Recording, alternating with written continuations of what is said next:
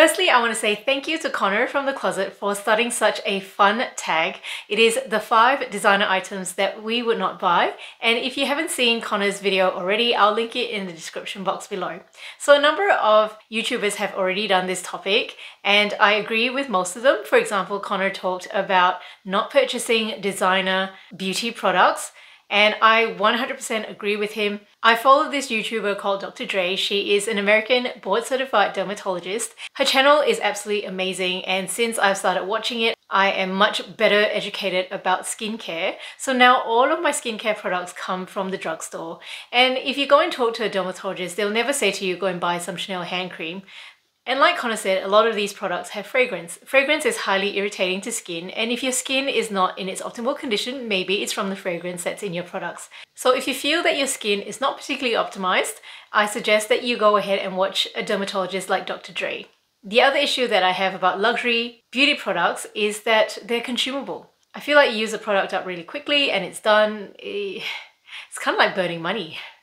Another luxury product that has been mentioned by other YouTubers already include technology. I agree and I would never buy luxury technology. Firstly, technology turns over so quickly. Secondly, these products are made by other tech brands and the luxury house just goes and puts a logo on it and then you got to pay all this extra money for it. Hey guys, how's it going? It's Dani. Welcome to another video. So other than the two items that I've already mentioned, there are five other things that I'm going to talk about in this video that I haven't seen mentioned in the other YouTube videos that I've watched. Never is a very strong word. I just cannot foresee myself buying any of these items. I mean, there are other things that are higher up on my wish list. For example, a couple of luxury cars, a jet, a yacht, and two holiday houses, one in Amsterdam and one in Queenstown, before I would ever consider buying these items. And some of these items I have right here, and let's jump straight into the video. So let's go ahead and start with this item right here. It is from Dunhill. I did not purchase this item myself. It was gifted to me by my father-in-law. It's very generous of him. It is a six keyring holder. Obviously very pretty, brand new. I've never used it. So I'm bringing this up because the Louis Vuitton 6 keyring holder is extremely popular and I would never buy a keyring holder that is like this. I personally find that it is quite bulky and it's just going to take up space in my bag. I personally just have my house keys on a regular keychain. Because I live in Adelaide, I drive everywhere. So I tend to leave my house keys in the car and I never put it in my bag. The next luxury item that I will never buy is a watch from a non-watch brand. So I only have two watches and my first luxury watch was gifted to me by my dad and it's from Omega. My dad is a watch enthusiast and he so kindly bought it for me when I was a teenager. I mean back then I wanted a Guess watch and he's like, no, I'm not buying you Guess. It'll be done in like a few years. And it's true because the watch prior to my Omega watch was a Baby G or a G-Shock, I'm not sure. And that watch was done within 18 months. So he refused to buy me another watch from Guess. And you know what? He's right. My Omega watch is 23 years old. 23 years old! um, it's practically vintage. And the cost per wear for that item is probably like a few cents a day. I don't know because I've worn it for 23 years for at least five days per week.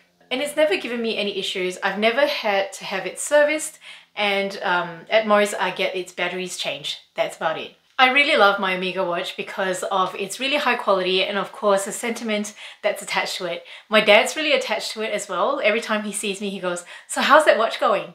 I did purchase myself another watch two years ago uh, from Longines and I kind of bought it because uh, I found that during the times when my Omega watch was off having its battery changed, I needed another watch to tell the time. If I bought a watch from Chanel, my dad would go like, oh, new watch, who is it by? I'll be like, Chanel. He's gonna be like? The next luxury item that I will never buy myself is luxury decorative homeware. I have this here by George Jensen. I did not buy it myself again.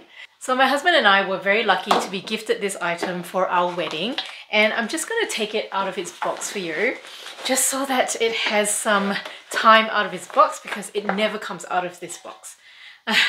so it is a fruit bowl by George Jensen I mean, look at him. He is so fancy. He doesn't go with any of the stuff in my house. A number of times I've taken him out of his box and I've walked around the house to see where I can put him. But everywhere I place him, I feel like I have to upgrade everything around him and I just, I just don't roll in that kind of cash. The next luxury item I will never buy is a brooch that consists just of the logo of the fashion house. For example, a CC brooch or a YSL brooch. I can understand a brooch that's been designed by the fashion house with a certain aesthetic and their logo then incorporated into the aesthetic of the brooch. That I get. However, just wearing something that says CC or YSL, I just associate it with livestock branding. So I feel like Chanel has kind of gone like, there you go, you're all mine now. The next luxury item I will never buy is bag charms. You will never, never catch me with a Rodeo or a Louis Vuitton puff. They are just so insanely overpriced and they really hardly serve any function. And they don't spark enough joy in me for me to spend that kind of money. And don't get me wrong, I do own bag charms. I have this one, for example, right here. This one is from ASOS and I think she is totally cute and makes me happy enough. So there you go. I'll just be like Emily in Paris and I'll have a basic bag charm on my bag and someone can yell at me, ringarde. So those are just the five items that I'm talking about in this video that I'll never buy. I also did a luxury roast a couple of weeks ago and if you've missed it, certainly go ahead and watch it if you're interested in a laugh. Those are items I will certainly never, never buy. I've had so much fun filming this video and I will be tagging a few of you who I know watch my channel. So certainly check out the description box below to see if your name is there. Otherwise, thank you so much for watching. If you enjoyed this video, please give me a like and also subscribe to the channel if you're not already subscribed. I would super, super appreciate that. I'm Dani O and I hope to see you in my next video. Bye! Feel free to come and check out the rest of my lifestyle channel. I have three main playlists on my channel, all of which are linked in the description box below. The first one is full of practical tips for parents, especially useful if you're expecting a baby or have really young children. Because I'm really passionate about bilingualism and starting children on more than one language from a really young age, I created this fun playlist dedicated to English Chinese videos for children. And then my third playlist is on fashion, where I like to talk about luxury and mindful spending. If you like any of this content, feel free to subscribe and hit that notification bell so you get informed every time I upload a video. Also, feel free to follow me on Instagram.